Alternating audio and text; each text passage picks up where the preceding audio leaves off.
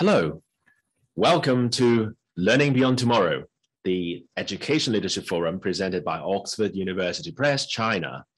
And today it's our deep pleasure to have Mr. Bogdan Copil, is the EdTech specialist of Edpuzzle, to join us today and give us uh, a talk on the topic of Universal Design for Learning, UDL, for an inclusive classroom.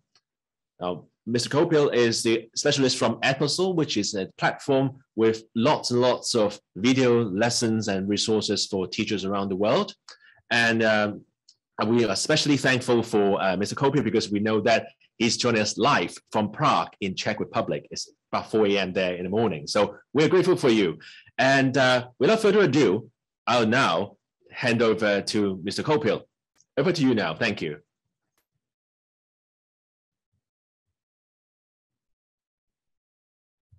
With you, even though it is 4 a.m. for me, indeed. Uh, it's always very exciting to be working with uh, educators uh, and uh, uh, and just uh, connecting with educators from all over the world.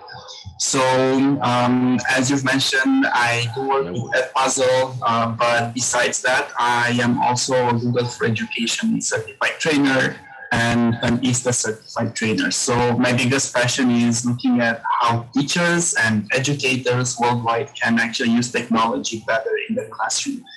So this is why I am here uh, talking to you basically about UDL, about inclusive classrooms, about technology, and a bit about Edpuzzle as well, of course, as a case study, just seeing how it can actually benefit teachers from all over the world.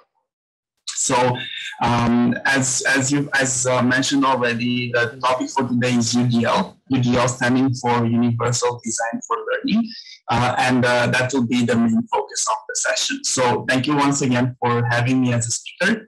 Um, if uh, anybody wants to get in touch with me after the session, if you have questions or something like that, you can always connect on Twitter at, at Mr. Copil, or you also have my email on the slide. But um, uh, also throughout the session, we will have a Q&A uh, session at the end of the uh, presentation. But if you have any other questions, please feel free to bring them forward. So let's dive right in and start with the very beginning. What is the background and what's the premise for talking about UDL and Universal Design for Learning? Um, one of the big things that constantly changes inside classrooms all over the world is that classrooms are more and more diverse. And when we talk about diversity, we can think about lots of different things that happen in the classroom, from international audiences uh, to uh, different levels uh, in terms of uh, learning ability to even in some cases some disabilities or some special educational needs and this is one of the, uh, I would say, um, key ideas in many of the classrooms around the world. And this is where UDL or Universal Design for Learning can actually step in and help educators to maybe structure the curriculum better or maybe to structure the assessments better, just so that uh, we make sure that we include all people. So this is one of the key focuses of the UDL platform or of the UDL, UDL framework. Uh, and I will call it UDL from now on rather than saying universal design for learning every single time because uh, that makes it a bit faster and easier.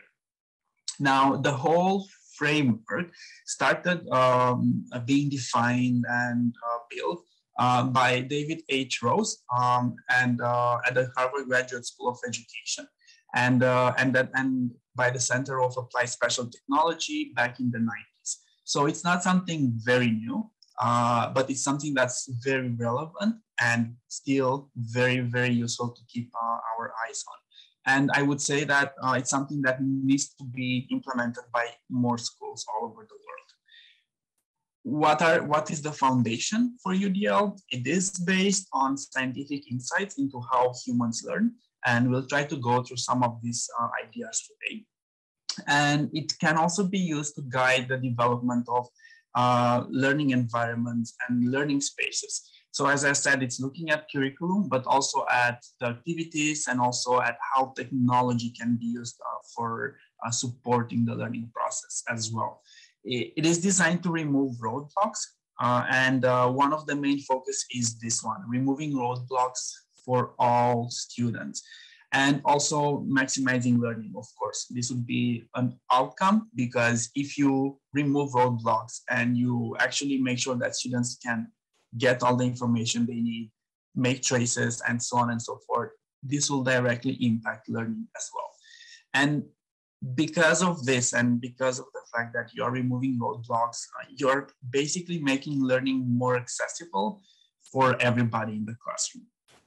And of course, um, we all, it's also looking at how we actually present the information uh, and thinking about removing those roadblocks. One key idea is that you adapt the content and assessment and everything to the learner rather than doing it the other way around and asking the learner to adapt to the information, for example. So what are the, where is this coming from? Universal design for learning, right? Where is the name coming from? Uh, well, universal basically refers to curriculum that can be used and understood by every student in the classroom. So just as well as uh, anything that's universal is easy to use by anybody everywhere. Also, UDL was built with this idea in mind. Now, curriculum, as it's defined in UDL, it doesn't refer just to the content, right? So I, I briefly mentioned this a bit earlier as well. There are four parts that are covered, and all of them can be tweaked and changed and improved using the UDL principles and the framework. So the instructional goals is one of them. And this is where, um, especially if we have clear learning objectives and the goals are clear both for us as educators and for our students, it will be easier for them to also have more agency in many cases because they will know at least what choice to make and what the next steps will be. Then we can talk about the methods. What type of methods do we use in the whole teaching and learning process? That can also be sort of improved and built upon using the UDL framework. Then, of course, you have the materials. So here you'll see me today giving you some examples of how we can use actually uh, some of the videos that were created by the Oxford University Press and uh, shared with teachers. Uh, so we can also look at that from the perspective of, okay, we have the methods for teaching. What materials are we using and how can those materials support our students' learning? And then, of course, we are looking also at the assessment. So it, the idea is to actually give more space and room for the assessment as well, and to also allow students to show mastery in different ways. So this will be the universal part from, uh, from UDL, right? The design part refers to design in general. So when we think about design, you can think about uh, or universal design to bring also the word universal in, in the discussion. We can see design all over around us. So think about day-to-day activities or objects or things that involve design. For example, automatic doors, right? So when you go to a shop or enter a building, go outside of the building, the fact that you have automatic doors and the structure and where they're placed and whatnot, that's an example of universal design. That will help everybody that goes inside or outside that building, and it will have other impacts uh, on the whole building structure. Dictation tools, that's another example of design that actually makes things uh, universal and available for everybody, right? So this is where we start with the idea of universal design. Now, when we apply universal design, and this would apply to any domain, not only to learning, you're actually bringing in flexibility and you're trying to accommodate the needs of all kinds of users. So we are going also into the uh, area of disabled people, for example, uh, and uh, the main idea is to, to give or to go beyond access, right? So we don't just want to uh, give access to those people or that subsegment of the population. But we would actually ideally want to, of course, go beyond that, support them, challenge them, create a space where, where they can thrive and, uh, and flourish, right?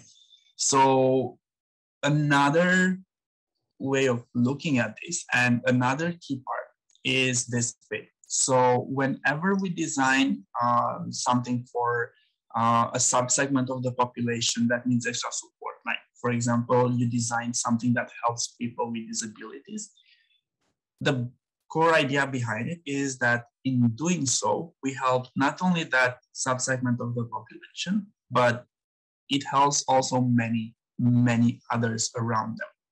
And that's why uh, we have this idea of universal design uh, actually uh, being universal and uh, helping everybody. So basically, UDL brings the same approach to the classroom. So ideas that we were used in universal design are now brought into the classroom, and we are just trying to apply similar principles to the curriculum and uh, as I said earlier, learning objectives, methods, materials, uh, and assessments.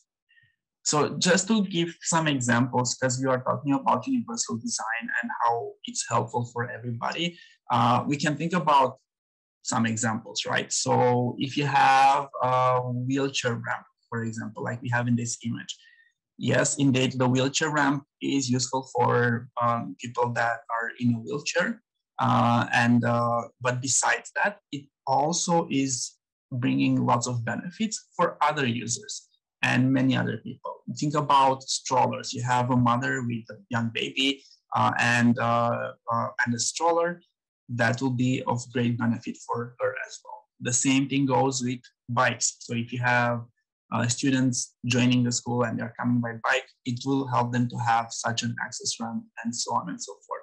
So this is just one example from designing uh, a physical space that, as I said, even though the whole, one of the main goals of the um, wheelchair ramp would be to support disabled uh, people, it will actually have beneficial impacts on the whole population. Another example of this, and now we are moving more into the online space and even uh, teaching and learning already, subtitles or closed captions. So closed captions can be of tremendous help for people who are deaf uh, and who cannot hear or who have trouble hearing, right? So that's something that is, I would say, mandatory if you plan to use videos in this kind of setups. But having subtitles or having closed captions can be of great benefit in many other situations and for many other uh, people, right? So you can think about people that want to learn a new language. The fact that they can watch a video with subtitles in their own language, that can definitely help them learn the language.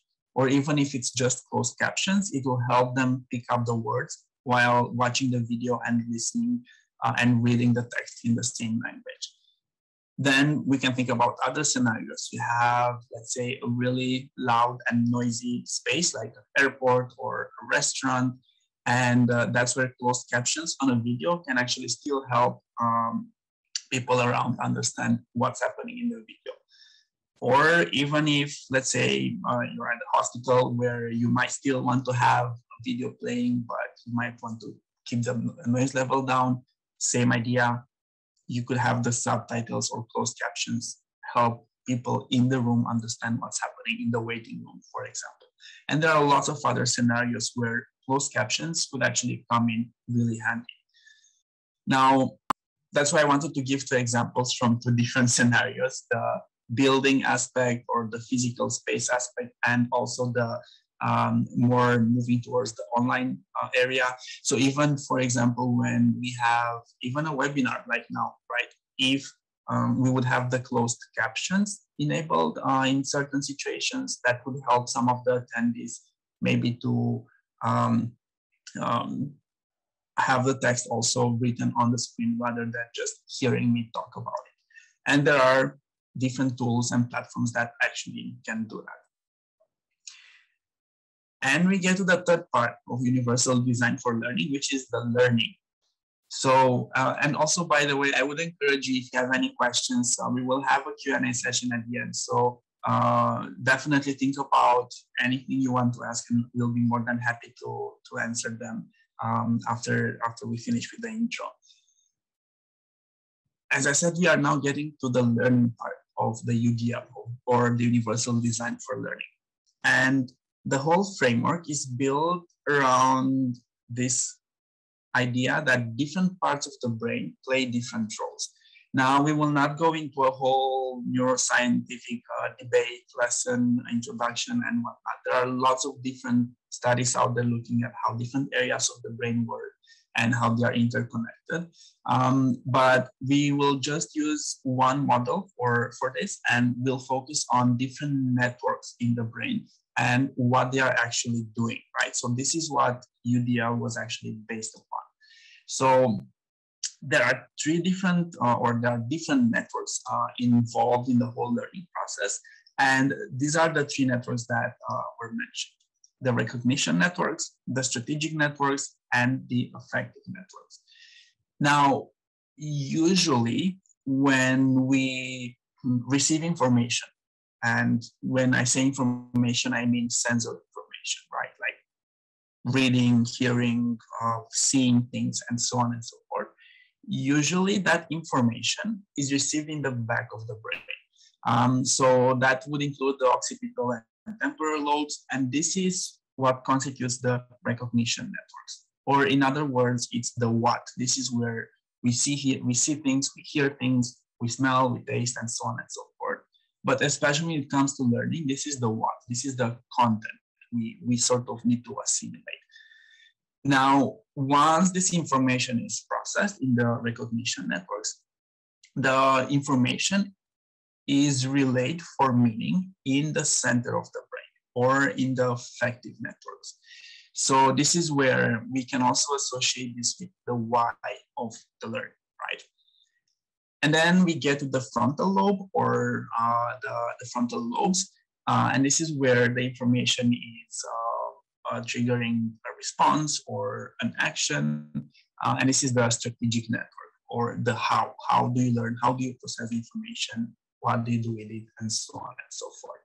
Now, what I want to clarify is that by no means uh, does this imply that this is a linear process or that there's a linear progression. You go from uh, the recognition networks to the strategic ones to the affective ones, or so on and so forth.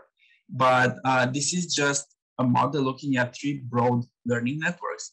Uh, and this is what can be useful when we design the whole learning experiences. So uh, once again, this is where we can match these networks to the different uh, parts of the, the whole learning process. Now, why is it good for us as educators to be aware of these networks? Well, variability can overwhelm teachers because you have so many students, so many backgrounds, so many uh, different approaches. And it's good to have a system that helps us organize these things and simplify our life, right? Even though there is so much variability, the learner variability is actually predictable and it can be organized across these three networks.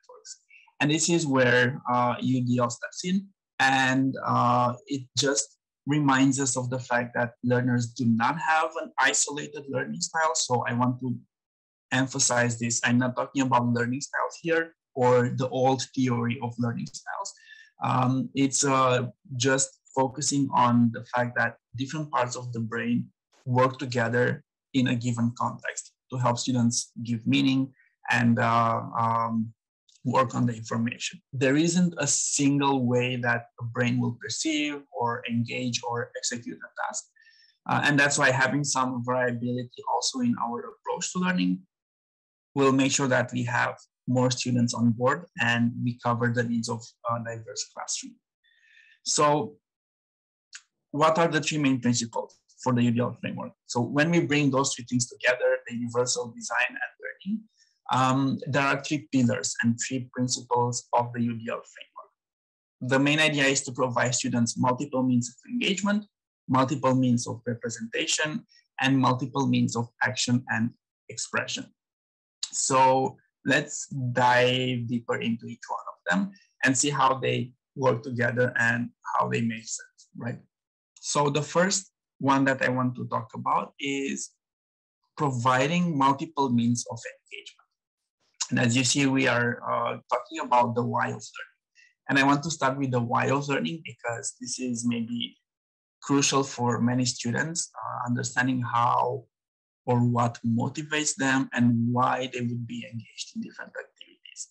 So there, there's a great difference between students in when it comes to the uh, the way they are motivated or the way you can engage them in the whole learning process. And here we can think about lots of different factors that can influence this. So you can look at the cultural background uh, or even the physiology, neurology, the structure of the brain. Um, there, that will bring a lot of subjectivity also on the student side. You can also look at the uh, previous knowledge, what do they already know about a topic. So there are lots of different things that can actually influence this. So the key part, the key idea is this. There isn't one perfect way of engaging all students or an optimal way for all learners uh, in every single context. And that's why it's always good to provide multiple means of engagement. So I just want to share some ideas for, for this bit. So you could give, for example, students options to choose from, or you could design assignments that are relevant to your student context rather than having just a generic um, uh, assignment for, uh, for across the board. You could create opportunities for students to move around. Now we talk a bit about flexible spaces and the way the classroom is designed, or if you have online environments, also moving from breakout rooms, for example. And there's also the option to add game elements. So there was a big movement with gamification a while ago. Uh, you could also add game elements to the whole learning process, trying to engage students. Now, when we move to the multiple means of representation, we talk about the what. Uh, what's the content? How do we work with the content for the students, right? And this is where we can think about learners differing in ways they perceive information and they comprehend that information. And um, some students that, because we are talking about designing the universal design once again, if you have students that have sensory disabilities, for example, or learning disabilities, or on the other end, you might have language or cultural differences. So you might have learners that uh, don't speak a language very well, but they are immersed in that language environment.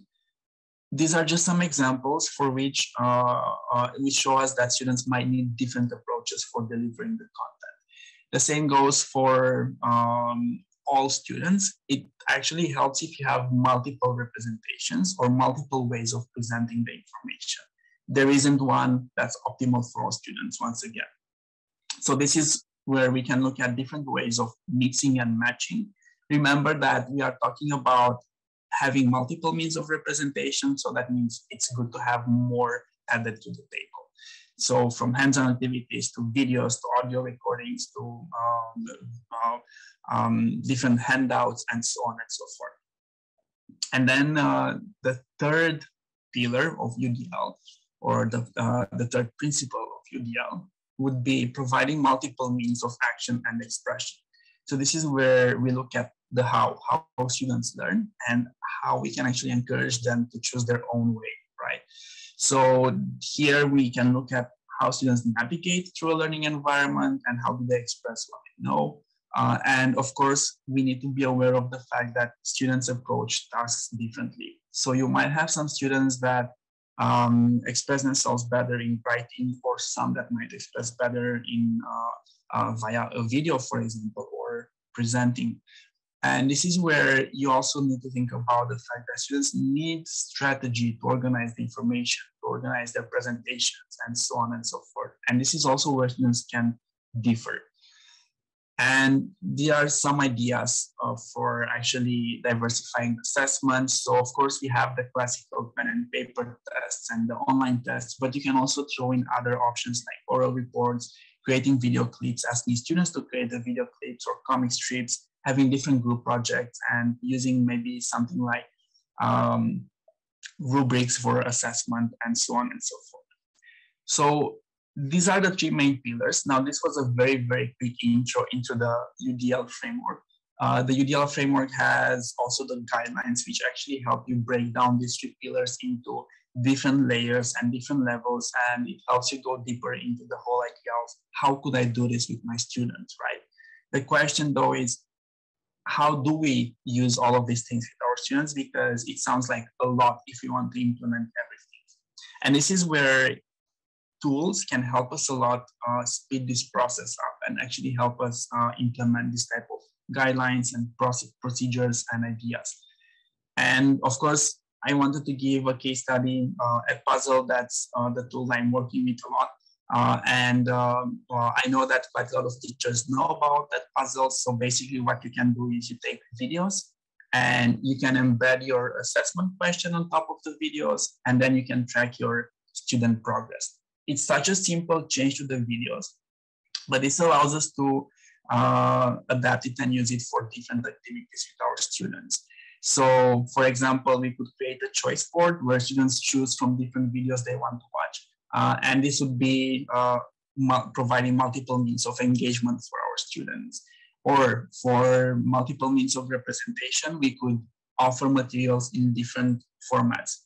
Uh, so we, we could complement worksheets with audio, video, we could have guided practice for them, we could have a read aloud shared with them via Edpuzzle, for example. And then when it comes to action and expression, we can also think about student projects where even in Edpuzzle, you can allow students to start from a video they choose rather than us giving them a video. And soon enough, they will also be able to record their own videos. So this is where I just, just as a quick example, uh, I want to um, give this as an example for a choice board. So we do have already videos created by the Oxford University Press, uh, right? And I wanted to show you how easy it is to actually uh, try one of the videos from uh, um, the material that's already created by the Oxford University Press. This is shared in Edpuzzle already. And I can easily just um, use this one. For example, I, I would create a copy, I would uh, assign it to my students, and then I could even use it as a choice board, right? So this is where I could just go to my slideshow and I could insert the link to the activity and I would let my students choose from what they want to work on. So I could have, these are all for videos I've chosen from the uh, from the uh, list of videos created by the Oxford University Press, Press already in Edpuzzle. And then I could share this choice board with my students. And in one easy move, I already gave them choice. I already have more ways of presenting the information because we have the video and then we have the questions on top. And we can start building on this bit. So of course I could talk about uh, I could talk about Edpuzzle and the way to use videos and about UDL for a whole day, but I am aware of the time. So um, I also um, want to have a quick, short Q&A session. So I would be happy to hear if there are any questions from, uh, from the audience. Uh, so um, we can definitely, uh, we can definitely answer them. Did we receive any questions so far?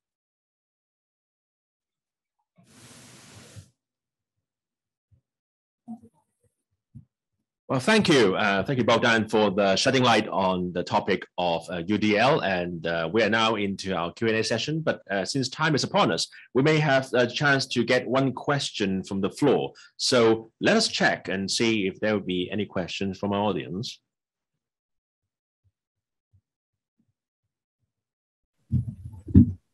Just a moment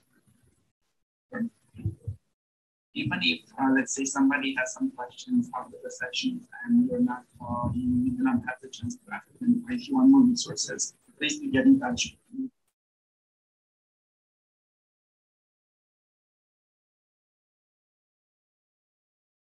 you know, since we have a diverse audience, we have people from everywhere in the countries, state and regions or cities. And uh, in the process of maybe uh, implementation or localization, how do we, uh, what should we pay attention to? I think this is what some of our audience uh, may want to know about. Uh, well, it's all, it's always, always, always a good idea to look at the context. Always start with the context uh, and look at what's happening in your classroom or in your immediate so when we talk about the design process, there are different uh, frameworks for the design, and basically what you do the design process is you break down a big project into manageable chunks, and that's the whole idea with UDL as well. If you look at everything and you want to provide everything at once, it can be very overwhelming. So take it step by step, and that's why the whole process of having the guidelines and the principles also because it's breaking down the process into that mean different manageable chunks. Now there are different design stages or sorry, design models if you want to talk about design in general. Uh, but in the design thinking process, that's one of them. For example, you start with empathize, and that's that's why I'm saying this is where you need to look at the context, you need to understand students, their needs, what's happening in their world, and then you go to the next steps and uh, you decide what to do next, what what uh, what you need to what are the roadblocks, and you work on that. Uh, so I would say that this is where you just understanding context and setting up the stage And that makes sense. And thank you for the useful advice. And I think time now is uh, uh, upon us. And uh, I do would like to conclude the session here. Thank you very much, Bogdan, again for joining us from Prague. And thank you for all the audience from around the world for listening to this webinar. Uh, please remember, our audience, please remember to download your e-certificate from our website. And we'll be sending you also a post-webinar survey. We'd love to have your feedback for us and your comments as well. And lastly, uh, we do have other webinars uh, for the rest of the day and in the afternoon. So it'll be exciting to have you. We look forward to seeing you there. So thank you and goodbye to all. Thank you again.